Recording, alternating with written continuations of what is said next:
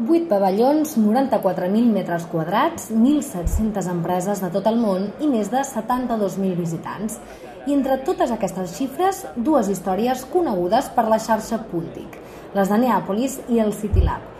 Amb dos centres van ser la representació de la xarxa Puntic al Mobile World Congress 2013, la Fira Mundial de la Telefonia Mòbil i les noves tecnologies.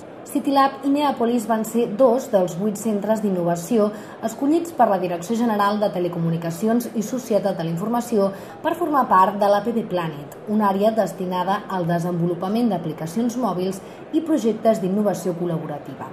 CityLab i Neapolis van ser seleccionats per tenir una visió internacional i un clar perfil innovador. El CityLab a Cornellà de Llobregat i Neàpolis a Vilanova i la Geltrú són dos centres d'innovació social i tecnològica que funcionen com a laboratoris ciutadans. La seva idea és convertir el ciutadà de peu en promotor de la tecnologia i no només en un consumidor. Amb dos coincideixen en què la seva presència al mobile els permet visibilitzar el valor de les persones i la seva capacitat d'innovació i, a més, poden fer contactes amb altres centres del món. Jo crec que és la, la part més important de la mobile per nosaltres.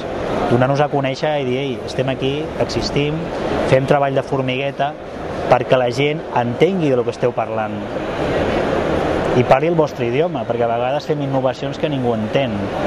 I seria molt maco que tots parléssim el mateix idioma i, sigués, i siguéssim sensibles a la, a la necessitat de la gent com a promotors i com a consumidors futurs, però que també els hi deixem aquesta, aquesta possibilitat no? d'entrar en el joc com a, com a comunitat que crea i participa en la innovació, no una innovació que ens ve donada. Ni dir, no, aquest és el mòbil que t'has de comprar o aquest és el software que has d'utilitzar.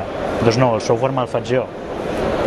Davant de la meva necessitat el creo o fins i tot el testejo o, o, o sóc capaç de, de compartir amb tu, de tu a tu, perquè aquesta innovació és més important o aquesta m'agrada menys o aquesta m'agrada menys.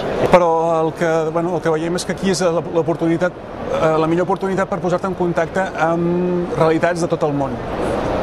Llavors, aquí nosaltres, eh, a més a més d'empreses, hi ha moltes regions del món representades i una mica el nostre interès és crear, crear sinergies, crear contactes amb, amb regions de tot el món. L'any passat, diguéssim, vam tenir un gran...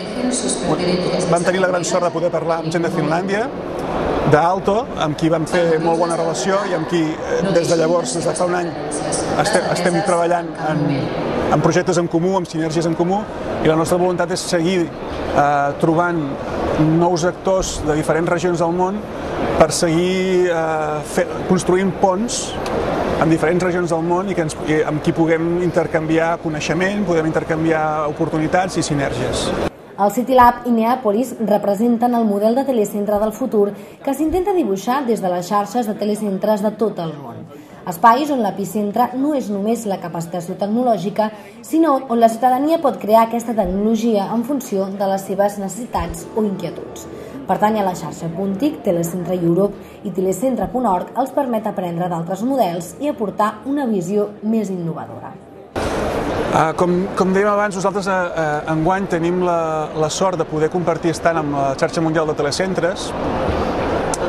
Això ens, ens, ens dona l'oportunitat de poder compartir l'estant amb una xarxa, diguéssim, uh, molt important, no? eh, per tant, que tenen molta experiència, que tenen una visió global, i nosaltres eh, sempre ho diem, som locals i, es, i, i, i ens agrada molt ser-ho, però tenim aquesta visió global. No? Llavors, eh, compartir les dues visions eh, per nosaltres és molt, és molt profitós. Què aportem nosaltres?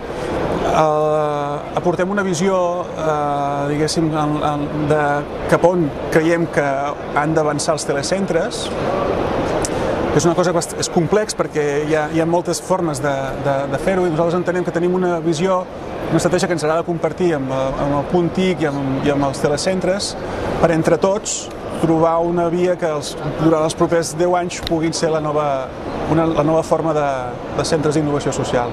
Jo crec que el tema de la pertinència a la xarxa ens dona dimensió, ens dona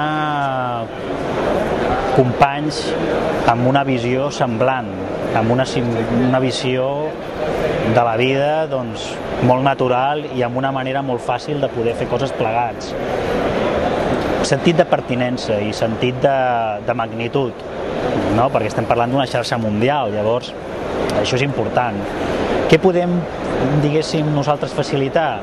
Jo crec que podria ser aquesta, aquesta visió potser més àmplia, és a dir, no limitativa, i potser una mica d'ambició, d'inconformisme, no? de dir, bueno, podem quedar-nos amb allò de la transferència del coneixement i la inclusió dintre la societat del coneixement o podem inocular aquesta, aquest virus a les persones perquè siguin innovadores.